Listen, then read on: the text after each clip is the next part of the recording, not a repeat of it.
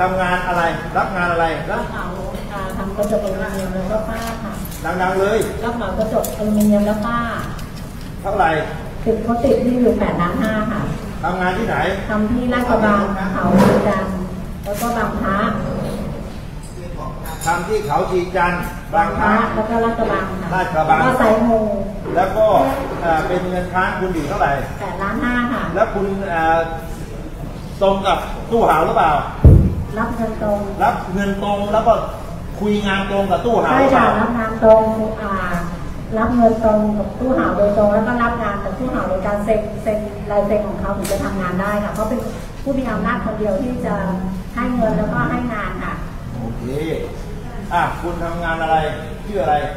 งานสีครับนัดครับอะดังเอ่อทำงานกับผู้หาก็ประมาณเจ็ดเจ็ดที่อะครับๆ เจ็ดที่ครับ ทำงานสีทำงานสีครับค้างอยู่เท่าไหร่งานเงิทานงอยู่ร้านสามครับทำงานปีไหนทำงานตั้งแต่ปีห้าเก้าถึงหกสองครับค้างอยู่เท่าไหร่เนี่ยร้านสามครับโอ้โหโอ้โหรับงานกับคุยกับตู้หาวหรือเปล่าดิวตรงครับดิวตรงตลอดไปไปให้การอายการหรือยังใช่แล้วครับอะชื่ออะไรที่หนึ่งครับอะดัง ที่หนึ่งครับผมๆทำงานอะไรอ่าไปรุ่นหมอตัวฉางแล้วก็เบื้องครับกอชาปูกระเบื้องครับผมอะค้างเงินเท่าไหร่อยู่ร้านห้าครับอยู่ที่กับตกลงกับตู้หาวโดยตรงหรือเปล่าร้านห้าเนี่ยโดยตรงเลยครับโดยตรงเลยทำงานที่ไหนบ้างอ่าอยู่รักกระบังห้าสี่ครับโมเดิร์นเกมแล้วก็สวนอาหารฟรีแล้วก็สวนมูครับ โอเคอะคุณชื่ออะไรวีเกียรติครับฮะวีเกียรติครับอ่าทวีเกียรติทำงานอะไรทำก่อฉาบกอชาครับผมอ่าแล้วก็ค้างเงินคุณเท่าไหร่อ่าร้าน ร้านเจ็ดครับล้านเจ็ดครับผมตกลงกับใครตู้อ่าหาวตู้หาวครับอ่าล้านเจ็ดครับผมอ่ากอชาครับผมทำงานปีไหนอ่าหกศูนย์หกศูนย์หกหนึ่งครับผมไปไปไปหาอายการบันทึกปากคำหรือยังทิ้งเรียบร้อยครับ นี่คือตู้ห่าว ที่มีเงินซื้อโลสลอยแต่ไม่จ่ายเงินผู้รับเหมา นี่คือตู้ห่าว และที่สำคัญต่อไปรถทัวร์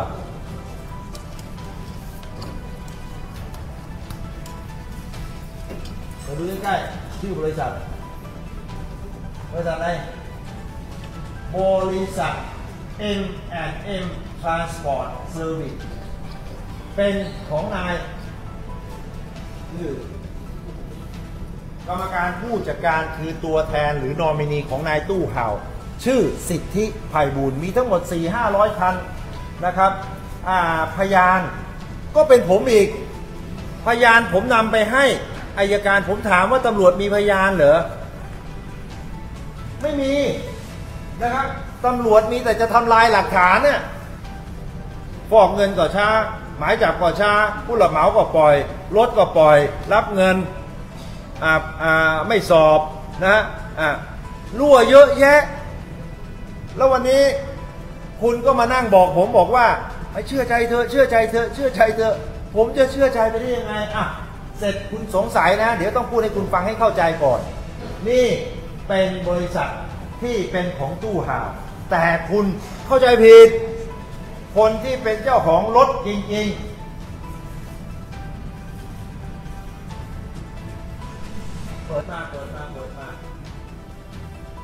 ชื่อบริษัทอะไรฮะไหนไม่เห็นชื่อเลยฮะอ๋อนี่นี่ผูกกับไฟแนนซ์บริษัทเอเชีย เสริมกิจลิสซิ่งเจ้าของคือผู้ถือกรรมสิทธิ์หจก. Contemporary Construction หลานประยุทธ์ประยุทธ์ ผมต้องบอกว่าอันนี้ทำไมมันถึงเงียบ ไม่มีใครพูดถึงนะครับ คุณไปหาเอาเองแล้วกันว่าบริษัทนี้ใครเป็นผู้ถือหุ้น ผมไม่ต้องพูดนะครับอ่าผมไม่สงสัยแล้วล่ะว่าทำไมเรื่องนี้มันจบแบบนี้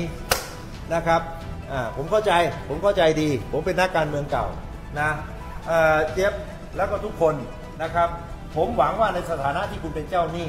นะครับ จะได้ทรัพย์สินนะครับ เอามาแบ่งปัน เพราะคุณต้องเลี้ยงลูกน้อง คุณมีค่าวัสดุ คุณอยากจะพูดอะไรไหมอยากค่ะ อะเอาเลยอะมาอยู่ไหนออะเอามายืนพูดตรงนี้เลย มายืนพูดตรงนี้เลย เพราะว่าไมค์มันอยู่ตรงนี้อ๋อก็อยากมาออกข่าวนะคะ เพราะว่าตอนแรกอะ เราตามหาคุณตู้ห่าวมา 3-4 ปีแล้วก่อนโควิดเนี่ยยังได้รับเงินอยู่แต่ได้น้อย ทีนี้ก็พอมาเจอวันดูข่าวธุรกิจสีเทาว่าเขายังอยู่ในเมืองไทย เราก็เลยรวมตัวกันมาค่ะเพราะว่าทุกคนน่ะเดือดร้อนมาก แต่ละคน ต้องเป็นหนี้อ่าเอาเอาบ้านเอารถไปจำนองเพื่อจะเอาเงินมาสร้างตึกของเขาให้สำเร็จ เมื่อเขาสำเร็จแล้วเขาเปิดได้เขาก็ไม่จ่ายเงินแล้วเขาก็ทิ้งเรา อย่างเงี้ยค่ะ ทุกคนเดือดร้อนหมดเป็นหนี้กันหมดทำงานแล้วเป็นหนี้มันไม่ใช่ค่ะทำงานแล้วมันต้องได้เงิน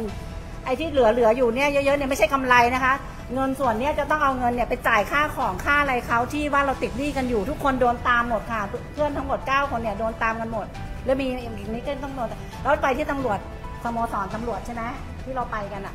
สองรอบก็เฉยๆไปให้เราให้เราไปให้ข้อมูลเป็นวันเป็นยันดึกยันดื่น ก็ไม่ช่วยอะไรเราเลย เราก็เงียบไปเป็นก็เลยรวมตัวกันว่า เราไปหาคุณชูวิทย์กันเถอะให้คุณชูวิทย์ช่วยเราทำงานเร็วไหมคุณชูวิทย์ต้องช่วยพวกหนูนะทำงานพกหเร็วไหมมีความหวังกับคุณชูวิทย์ทำงานเร็วไหมเร็วค่ะ โอเคจากวันที่ 27 ที่เกิดเหตุนะครับ ทางกระทรวงทราบข่าวก็ อันที่หนึ่งท่านประหลัดก็แต่งตั้งคณะกรรมการสืบสวนข้อเท็จจริง ภายในวันนั้นเลยนะครับ แต่ว่าอาจจะช่วงบ่าย แล้วก็ถัดมาชุดคณะกรรมการสืบสวนข้อเท็จจริง ก็ได้มีการประชุมในวันที่ 28 วันรุ่งขึ้นนะครับ แล้วก็สรุปเบื้องต้นในเรื่องว่ากรณีดังกล่าวเนี่ยควรจะให้ผู้บังคับบัญชาก็คืออธิบดี มาช่วยรายการที่ใดที่หนึ่งก่อนหรือเปล่า ก็ได้คำตอบ นำเสนอให้ทางประหลัดที่จะลงนามเพื่อให้มาช่วยรายการที่กระทรวงแต่ปรากฏว่าประมาณเที่ยงเที่ยงก็จะมีคำสั่งของสำนักนายกรันตีนะครับ ก็โดยพนักท่านนายกออกคำสั่งให้ไปช่วยรายการที่สำนักนายกรันตีก็ทำให้วันนั้นก็ทางกระทรวงก็ไม่ได้โยกย้ายท่านอธิบดีมาช่วยรายการที่กระทรวงนั้นก็ในสถานการณ์วันสองวันในวันนั้นนะครับ แล้วก็จากนั้นคณะกรรมการสืบสวนข้อเท็จจริง ได้ทำงานภายในตามคำสั่งนะครับ ก็ในนั้นรู้สึกว่าให้ภายใน 7 วันคำว่าสืบสวนข้อเท็จจริงก็คือเอาข้อมูลต่างๆ ที่มีอยู่ทั้งข่าวของสื่อมวลชน ทั้งสอบข้อเท็จจริงของผู้ที่ปรากฏชื่อก็ท่านอธิบดีแม้กระทั่งคนเอ่ออ่าพอชัยวัฒน์ผมไม่แน่ใจว่าในฐานะอะไร แต่ว่าท่านได้สัมภาษณ์ว่าท่านเป็นคน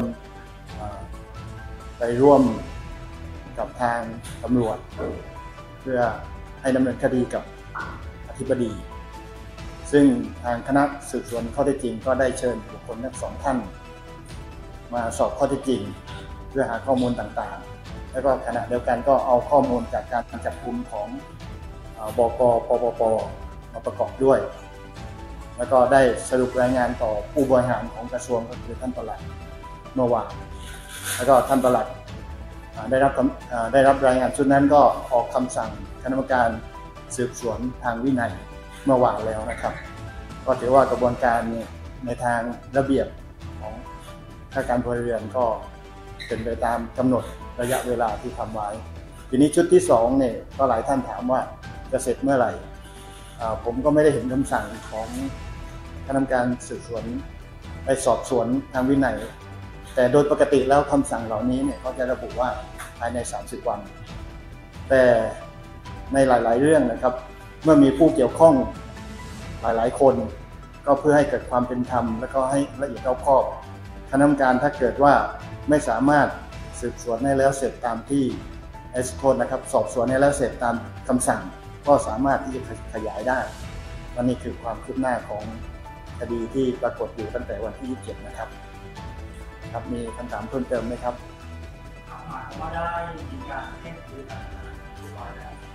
อ่าในในขั้นสืบสวนข้อเท็จจริง คณะกรรมการเขาได้เรียกสอบข้อเท็จจริงแล้ว ทั้งสองท่านที่ผมกล่าวถึงก็คือท่านผอชัยวัฒน์ด้วยนะครับ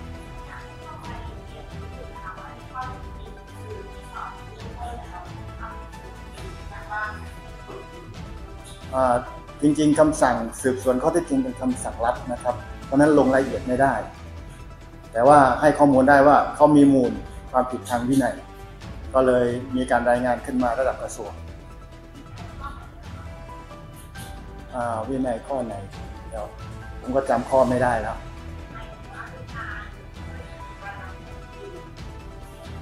มีมูลครับมีมูล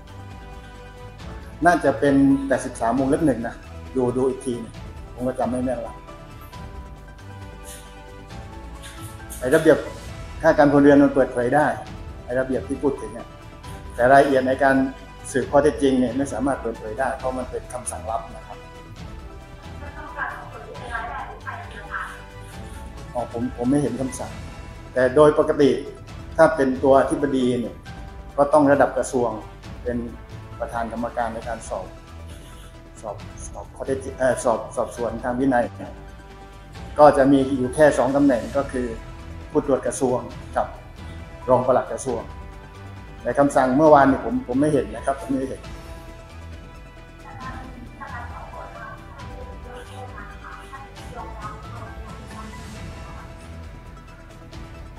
อ่าจริงๆแล้วมันก็เดาได้เลยนะครับ ว่าท่านต้องปฏิเสธอยู่แล้ว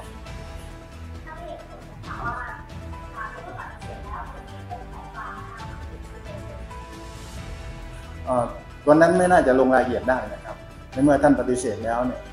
แต่สิ่งที่ชุดของสืบสวนข้อเท็จจริงเนี่ยเอาข้อมูลต่างๆ มาประกอบ เพราะนั้นจุดที่จะตัดสินได้นี่คือชุดสอบสวนทางวินัย ซึ่งในรายละเอียดต่างๆเนี่ยคณะกรรมการสืบสวนข้อเท็จจริงเนี่ยได้ส่งส่งมอบให้กับผู้บริหารแล้ว สำนักข่าวต่างประเทศรายงานจากกรุงบัสเซลประเทศเบลเยียมเมื่อวันที่ 5 มกราคม ว่าคณะกรรมาการยุโรปหรือ EC เผยแพร่แถลงการเมื่อวันพุธที่ผ่านมา เป็นผลการประชุมของคณะกรรมาการตอบสนองวิกฤตทางการเมืองเชิงบูรณาการ IPCR ซึ่งมีมติไปในทางเดียวกัน เสนอแนะว่าผู้ที่เดินทางมาจากจีนมายังประเทศสมาชิก EU ควรมีผลตรวจโควิด -19 เป็นลบก่อนเดินทางมาถึง และควรสวมหน้ากากอนามัยตั้งแต่อยู่ภายในห้องโดยสาร ทั้งนี้ที่ประชุมเสนอให้รัฐบาลแต่ละประเทศสมาชิก EU แต่ละแห่งใช้วิธีสุ่มตรวจโควิด -19 กับนัดเดินทางจากจีน และการสุ่มตรวจพร้อมจัดลำดับจีโน จากน้ำเสียของเที่ยวบิน พาณิชย์ขาเข้าระหว่างประเทศไม่ใช่เฉพาะเที่ยวบินจากจีนประเทศเดียว อันหนึ่งศูนย์ควบคุมโรคติดต่อยุโรป ECDC ออกแถลงการเมื่อสัปดาห์ที่แล้ว ยังไม่แนะนำให้มีการตรวจมาตรการผ่านสาธารณสุขอย่างจำเพาะเจาะจง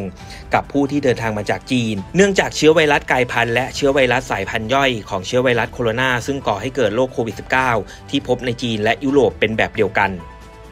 ข่าวสารสำคัญครบทุกประเด็น ติดตามได้ใน Daily News Today ทุกวันจันทร์ถึงศุกร์เวลา 16นาฬิกาทาง Daily News ออนไลน์